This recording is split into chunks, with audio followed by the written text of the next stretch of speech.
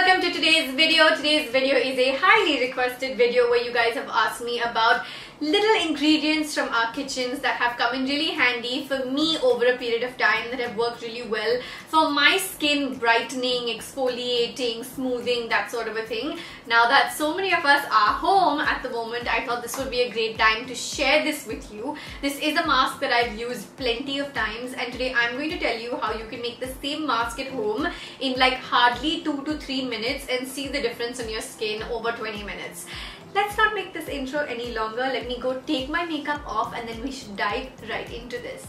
Okay, I'm back. I have taken my makeup off. I have slipped into a robe and we're about to dive into the face mask. Now, the only ingredients you need, I'm using only four ingredients for today's face mask, is a little bit of tomato paste, turmeric, about 2 or 3 tablespoons of milk and some honey. If you have raw honey, absolutely amazing. Please use raw organic honey. The properties that these ingredients have are really rich in exfoliating, in smoothing your skin, uh, in working on uneven skin tone. Tomatoes are great in that. These are great products for detoxifying. In fact, so many people even drink turmeric water and not just apply it. I've tried it once, it did not taste great, but I mean to give it another go at some point. Uh, and of course, milk. With milk, I'm going to give you two other options as well. You can swap this ingredient with either uh, malai or yogurt depending on your preference but of course if you have allergies to dairy or are lactose intolerant in any form please replace this with like an almond milk or a soy milk or something of that sort. Now all we're gonna do is take my other ingredients that I have over here the tomato, turmeric and honey and mix it up with the bowl of uh, milk I have over here. There's only 2 to 3 tablespoons. You will basically get a nice pastish to liquidy form um, of, of the face mask that you're making and then you can go ahead and mix it up and leave it as thick or thin as you like. Okay, I've got my little concoction over here. It's fairly liquidy. Um, I feel like I could have added a little more tomato paste in this for sure. But what I'm gonna do is just take the brush that I'm already using to mix it up and I'm gonna start applying it on my face. If you feel like you've made a little excess, because I definitely feel like I have made a little bit of an excess, uh, you can go ahead and put this in a little tin, in a little box and store it in your fridge. Don't worry about any wastage with this one.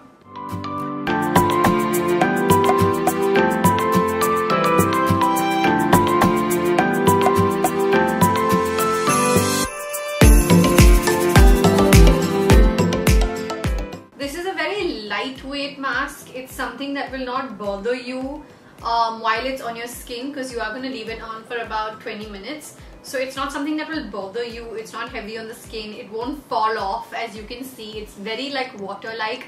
All you're seeing is a sheer layer of like yellow coming from the turmeric. So it's really cool for you to like wear at home and continue with your usual tasks um, without worrying about it.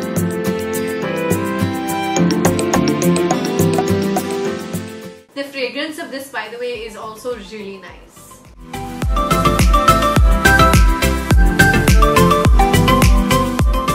A face mask like this by the way goes really well with all skin types. Uh, the honey looks after the dryness, the tomato looks after the uh, pigmentation and also the detoxifying. The turmeric is a really really strong uh, detoxifier again. Dairy works really well for the exfoliation.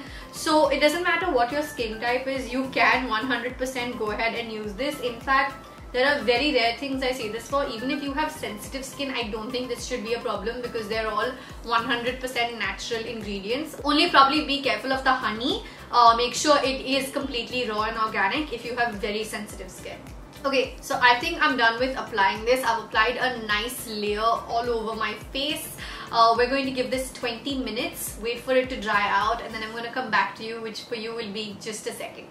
Alright, so there you go. You can see my face pack has been washed off with some warm water. You can do this with a damp napkin if you prefer. My skin instantly feels better. It feels awake. I don't know if like you understand what I'm saying, but like it feels awake. It definitely feels a whole lot smoother. Um, and if you do this consistently two to three times a week, I feel like this is something that you'll over a period of time really see the difference between.